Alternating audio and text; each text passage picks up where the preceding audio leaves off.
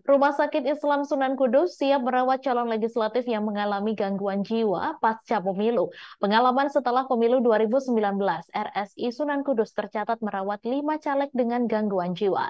Pada pemilu 2024, RSI Sunan Kudus menyiapkan 10 bed untuk caleg yang mengalami gangguan jiwa. Informasi selengkapnya akan disampaikan langsung oleh wartawan Tribun Muria, Rifki Gozali. Silakan rekan Rifki. Oke, terima kasih rekan Mai baik uh, Islam atau RSI Sunan Kudus menyatakan diri siap merawat calon legislatif yang mengalami depresi pasca pemilu 2024. Pengalaman ini pernah dilakukan oleh RSI Sunan Kudus pada pemilu 2019 bahwasanya rumah sakit tersebut pada waktu itu merawat lima calon legislatif yang mengalami depresi akibat tidak terpilih pada pemilu 2019 berdasarkan pengalaman tersebut pada kesempatan kali ini Rumah Sakit Islam Sunan Kudus menyiapkan bed untuk uh, calon legislatif yang nanti ketika tidak terpilih mengalami depresi atau gangguan kejiwaan. Meski sudah uh, disiapkan, uh, pihak manajemen RSI Sunan Kudus berharap agar tidak ada calon legislatif yang mengalami depresi. Untuk persiapan bed, pada kesempatan kali ini ada 10 bed atau kamar tidur yang disiapkan oleh RSI Sunan Kudus untuk perawatan calon legislatif yang mengalami depresi pada pemilu 2024. 10 bed tersebut terdiri atas bed di ruang VIP dan ruang presiden uh, untuk ruang VIP sendiri bisa diakses oleh peserta BPJS Kesehatan. Untuk tarif per malam di ruang VIP yaitu Eh, empat ratus ribu rupiah, sedangkan untuk uh, tarif di ruang presiden suite yaitu uh, lima puluh ribu rupiah per malam.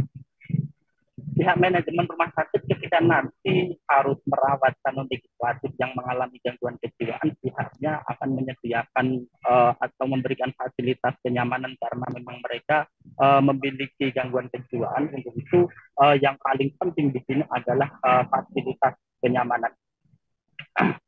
Uh, kemudian uh, dari beberapa uh, informasi yang kami himpun, uh, ketika nanti ada pasien dari caleg yang mengalami depresi, pihak rumah sakit juga sudah menyiapkan sumber daya manusia berupa dokter spesialis kejiwaan dan dua psikiatri. Demikian rekan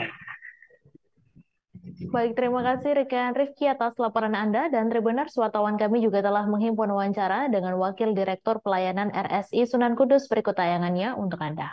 Pak ini jelang pemilu apa yang dipersiapkan oleh RSI Sunan Kudus ini Pak?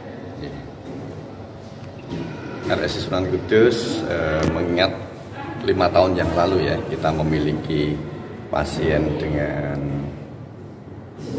gangguan psikologis atau perlu pendampingan secara kejiwaan uh, tahun ini karena tahun politik juga hmm. dan dalam rangka pilpres dan pemilu legislatif juga kita menyediakan uh, fasilitas untuk perawatan apabila memang nanti ada calon legislatif ataupun memang yang lain memerlukan perawatan secara psikologis di RSI siap untuk melakukan perawatan termasuk rawat inap juga.